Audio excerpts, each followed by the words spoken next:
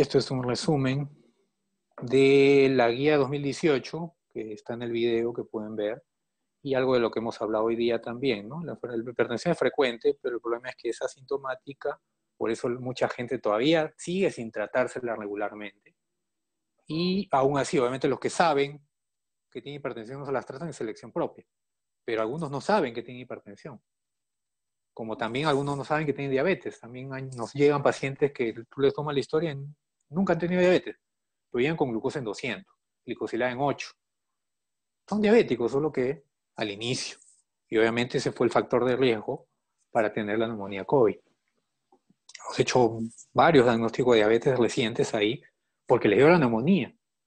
Pero si no les hubiera dado la neumonía, no se hubieran hecho el diagnóstico de diabetes. Porque muchos te dicen, no, señor, usted tiene diabetes. No, pero yo nunca, si no, no tomo azúcar, ¿no? Pero son obesos. Obviamente su factor de riesgo para el diabetes es la, la obesidad, ¿no? Pero el problema es que no da síntomas, ¿no? Entonces, al no dar síntomas, los pacientes ya llegan complicados o se complican después, ¿no? como este caso.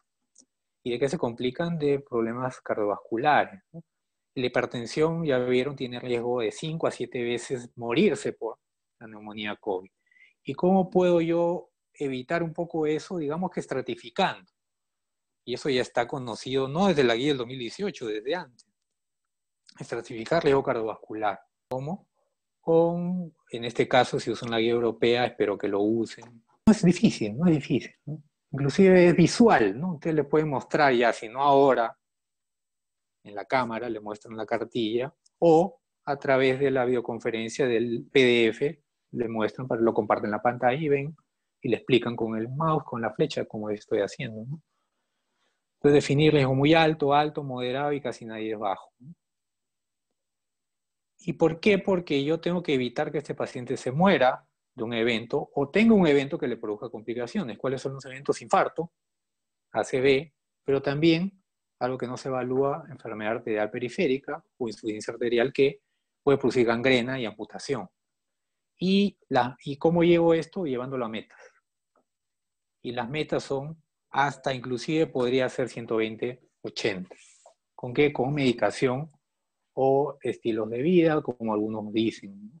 Quería hacerme una consulta pero quería hacer una consulta de un familiar. Él tiene hipertensión y eh, él sí controla su presión, él se toma la presión, anota su presión, este, hace sus controles, pero él lo que me ha estado comentando es que por la noche le ha estado subiendo la presión arterial, pero él cree que es como, como estamos viendo con todo esto de la pandemia, él cree que se ha sugestionado mucho y está controlando su presión por lo menos cuatro veces al día.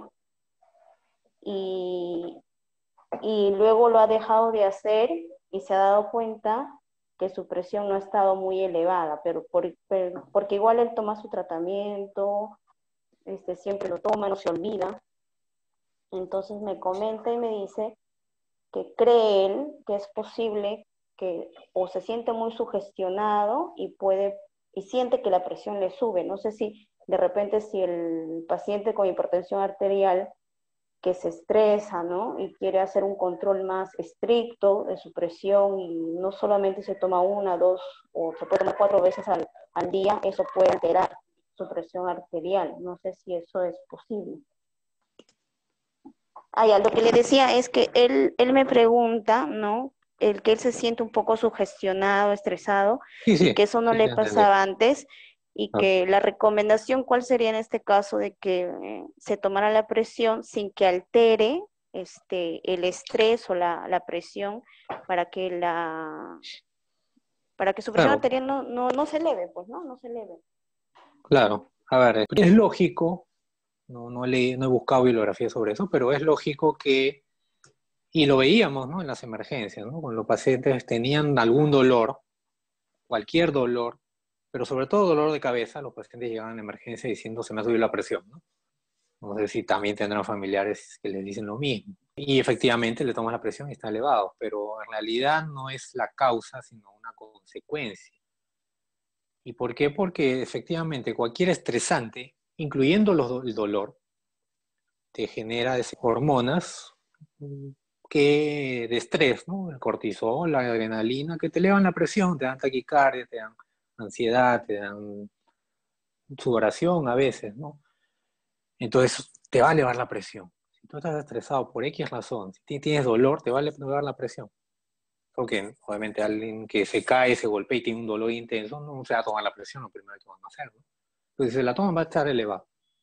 Entonces, cualquier estresante, y ahora más aún con esto, ya varios han descrito, ¿no? Que pacientes están preocupados, estresados, ansiosos, no solo por el tema de la infección, o de poder contagiarse o poder morirse, sino por estar encerrados también, ¿no? Hay gente que está acostumbrado a hablar con las personas, verlas, salir a la calle, etcétera, etcétera, y les produce ansiedad estar encerrados. Hay gente también que probablemente tenga lo que se llama agorafobia, ¿no? Que es el tema de, ansiedad por estar encerrados, y eso le va, obviamente, a producir elevaciones de la presión es transitoria, ojo. Entonces, pero ahí el, tratamiento no es hipertensivo, como en el caso de los pacientes que llegan a la emergencia con cefalea tensional y la presión está elevada, el tratamiento no es darle captopril sublingual. El tratamiento es calmarles el dolor. En este caso, puntualmente el que describes de tu papá, el tratamiento sería tranquilizarse. Y creo que él algo, algo ha hecho, ¿no? El tema de ya no estar estresado a apremiado, eh, ansioso por tomarse la presión seguido, como que le bajó la presión. Pero hay que ver también valores de, hay que ver también qué valor de presión, ¿no? Porque obviamente si mi basal es a la justa, ¿no? 13.8, y cuando me estreso me subo a 17, no, si ahí hay que hacer algo, lo calmamos, pero si baja a 16, 15, sí, probablemente esa presión está descontrolada. Pero si estamos hablando que siempre ha mantenido su presión en 11, 12 con su medicación y porque está ansioso está en 14 y luego baja cuando está tranquilo, no hay que hacer mayor cosa que tranquilizarse. Entonces, una forma es, sí, efectivamente, pues, es un círculo vicioso, ¿no? Me tomo la presión, estoy ansioso, me tomo la presión, está elevado. Entonces me preocupo más. Entonces me la vuelvo a tomar más seguido, va a estar más elevado. No, una presión arterial y antes de la pandemia de 14, 15 no hace daño. Pero obviamente si es un, momento. Obviamente si tiene 14, 15, 1, 2, 3, 5, 10 días, 20 días, un mes, sí, eso sí hace daño. Pero eso no es lo más frecuente. Entonces, si yo me tomo la presión cuando tengo algún estresante y está en 14, lo que tengo que hacer es tranquilizarme, estar tranquilo. Y cuando ya esté tranquilo, sentado, ya no me preocupe de eso, me la vuelvo a tomar. Lo más probable es que esté, obviamente, tranquilo, sin dolor, sin estrés, sin preocupación. Pero si yo sigo preocupado, estoy ansioso, pues ya, ya toca la hora para, para tomarme la presión y ver si ha bajado, no, pues va a seguir elevado.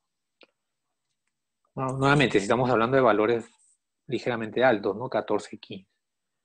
Pero si es 16, 17, sí hay que, hay, sí hay que monitorizar y si se mantienen hay que sí cambiar el tratamiento. Pero deduzco yo que si has descrito que baja cuando está más tranquilo y es que no necesitaría mayor control ni mayor cambio en su medicación. Pero eso también es bueno, ¿no? Porque, porque dije que iba a ayudar, porque también le pueden decir eso a los pacientes, ¿no? Que es algo que deduzco yo que también puede repetirse en los pacientes que, que, que tienen